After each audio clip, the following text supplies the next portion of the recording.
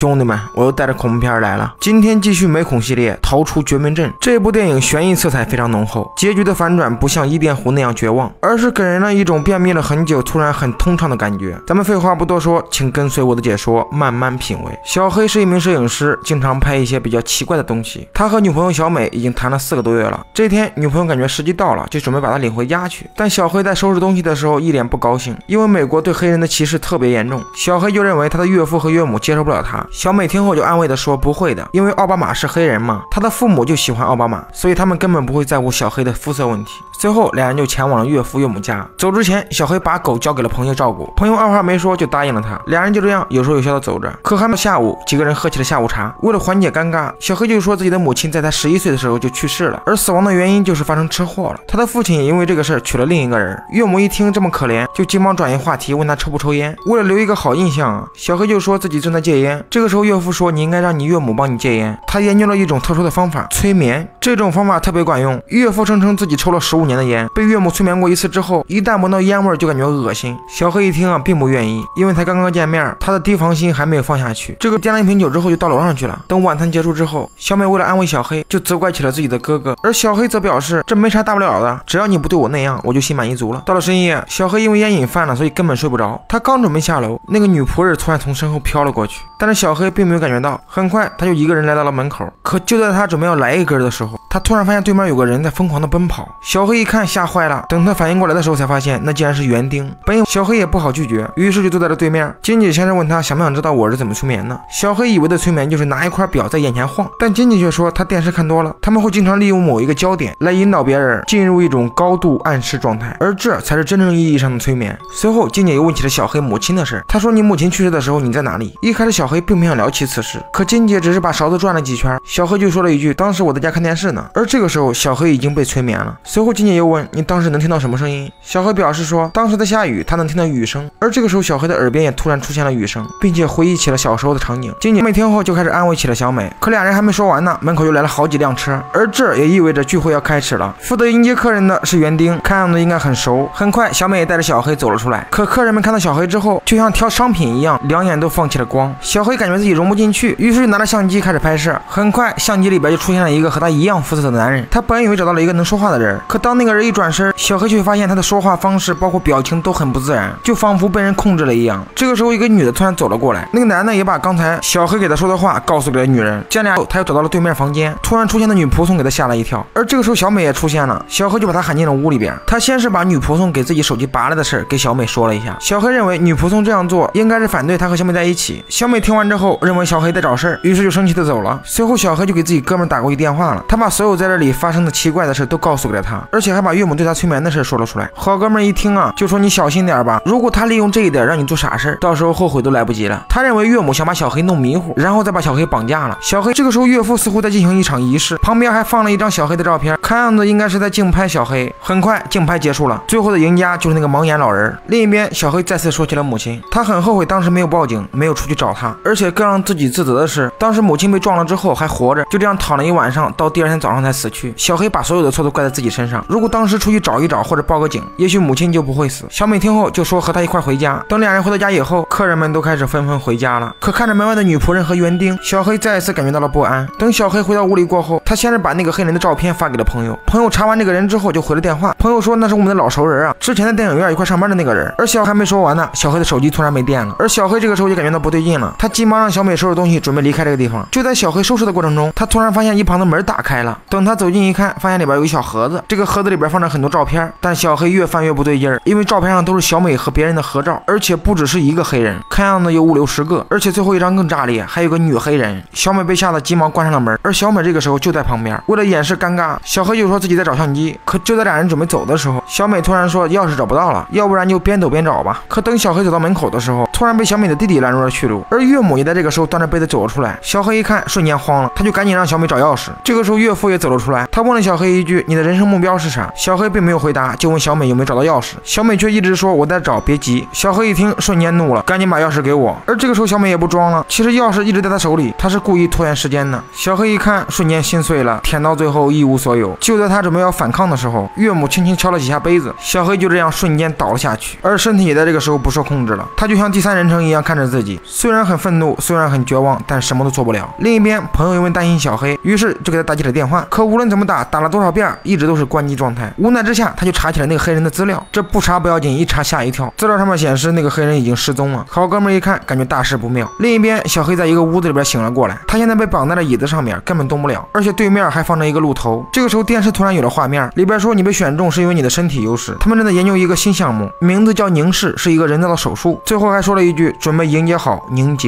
很快，电视里又出现一个杯子，随着勺子的摆动，小黑再一次晕了过去。另一想到的是，当静音关闭过后，小美却绕开了话题，而且还尝试让这个好哥们上钩，就说你不是喜欢我吗？我现在同意你追我。好哥们一听没有破绽了，就急忙把电话挂了。另一边，小黑也再次醒了过来，电视也在这个时候冒出了一个熟悉的身影，而这个人正是说小黑画画很好的那个老人。他说：“我现在和你说话可以提高手术的成功率。”为了让小黑死个明白，他就把真相说了出来。他说：“第一阶段是催眠术，这样的话可以让你老实下来，而现在就是第二阶段，目的就是让你做好心理准备，也是为了给第三阶段转移做好准备。转移的部分就是一些神经系统，其他任何部位都会保持不变。最后，老人的神经系统会转移到小黑身上，但小黑不会消失，他的意识还依旧存在，但是他控制不了身体，只能以第三人称看着老人控制自己的身体。这个时候，小黑问了：为什么非要选择黑人呢？而老人给出的解释就是：黑人的力量更强，身体素质更好，而他最想要的就是小黑的眼睛。很快，电视关闭了，而这个时候，小黑突然发现了座位上的一些棉花，他看着棉花，似乎有些想法。另一边，岳父也开始准备手术了，他先是让弟弟把小黑推过来，然后自己一个人就开始了手术。没过一会儿，弟弟推着轮椅找到了小黑，他刚解开小黑的手，就在他准备收拾东西的时候，小黑直接哭哧一声，对着头就来了一下。另一边，正在手术的岳父突然听到了一阵敲门声，可等他出门一看，发现门口并没有什么人，他直接一把扑倒了小黑。就在小黑快要领盒饭的时候，他直接拿出相机对着爷爷拍了一张。而这个时候，小美刚好赶了过来，园丁一看就说：“把枪给我，让我来。”这个时候反转来了，园丁接过枪之后，先是对小美开了一枪，然后又拉起保险，最后把自己给送走了。小美这个时候并没有死亡，还想着继续拿枪呢，但是被小黑快了一步。看到这个情况，小美再次装起了深情，深情的说了一句：“我爱你。”而小黑听到之后丝毫不为所动，他本来想把小美给掐死，但想到他们俩曾经谈过恋爱，最后还是没有下得了手。很快，一辆警车赶了过来，小美一看就说：“救命啊，救命！”本以为部电影只有最后十五分钟才是精华，正是因为这个复仇的爽感，才让网友们给了他七点八的超高分。